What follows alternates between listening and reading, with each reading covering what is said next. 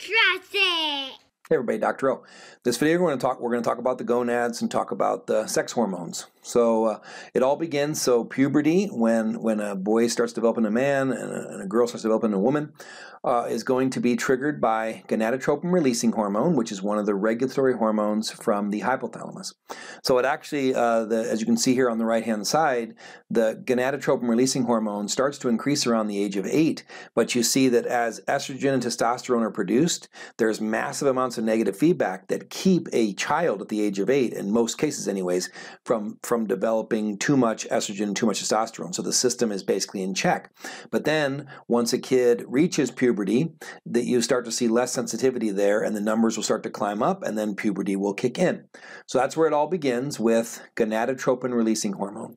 Gonadotropin releasing hormone will tell the anterior pituitary gland to produce and release the gonadotropins, which will be follicle stimulating hormone and luteinizing hormone. So the two, the two are going to have an impact on both men and women. Let's go ahead and just read number three here.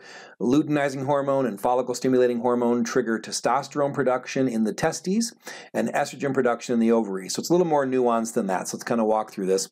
Um, so follicle stimulating hormone in the female is going to lead to the development of the follicle. And the follicle is going to be where the egg is. So follicle stimulating hormone is going to lead to the production of the egg, the oocyte. But the follicle will also then release estrogen. So that's why follicle stimulating hormone leads to estrogen production in females. In males, follicle stimulating hormone is going to lead to spermatogenesis or the production and maturation of sperm. So that's follicle stimulating hormone.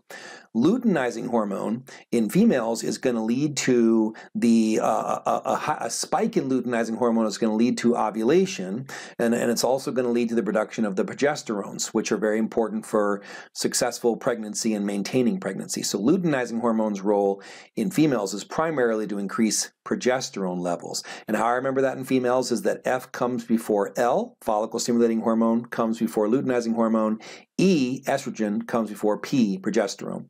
In males, luteinizing hormone is going to tell the testicles to produce more testosterone. So just think follicle stimulating hormone, think the gametes, the sex cells are being produced. Luteinizing, uh, luteinizing hormone, think uh, hormones primarily. All right, let's go ahead and look at the effects. This is what I wanted to talk about really in this video because we've kind of covered that part already before.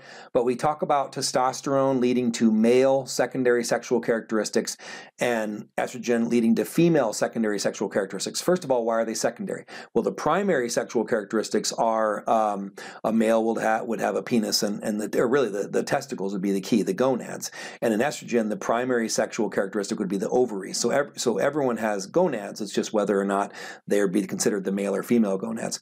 But the secondary sexual characters, let's go ahead and read through the list. So the male secondary sexual characteristics, penis and scrotum growth, facial hair, is going to grow in a, in a male pattern. Uh, the larynx is going to elongate, which makes the vocal cords longer, and that's going to lower the voice. A broadening of the shoulders, body, armpit, and pubic hair growth, and muscul musculature increase. So increase in bone density, increase in muscle mass.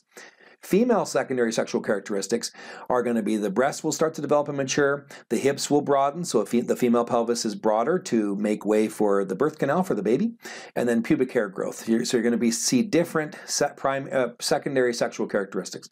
Now, of course, we've got we've got a spectrum here, and there's there's different growth patterns. So some men are going to have a lot more body hair than other men, and vice you know the same thing with women, etc but that's going to be the secondary sexual characteristics that develop because of these sex hormones. All right, a couple more to cover here. So we talked about testosterone being that primary male um, hormone. Uh, the other two that we haven't talked about, and we also talked about estrogen quite a bit, but remember progesterone plays a big role in the menstrual cycle. We'll cover that when we talk about the female reproductive system. Very important to maintain the pregnancy. But what I want to talk about here is the placenta. So the placenta becomes this temporary endocrine organ, and it produces lots of different things.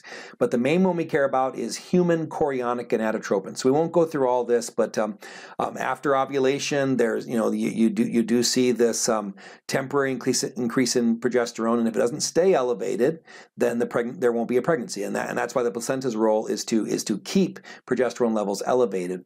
Uh, the other important function of human chorionic gonadotropin is that it does play a role in suppressing mom's immune function. So if you think about it, being pregnant is an immunosuppressive disorder.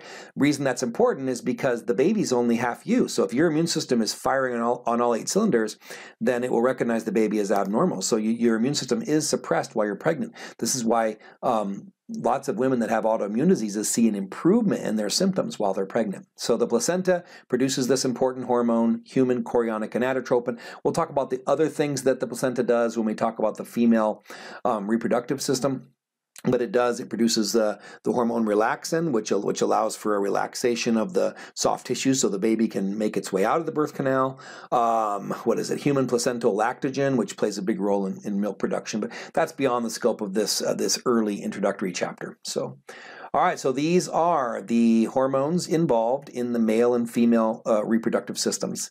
I hope this helps. Have a wonderful day. Be blessed.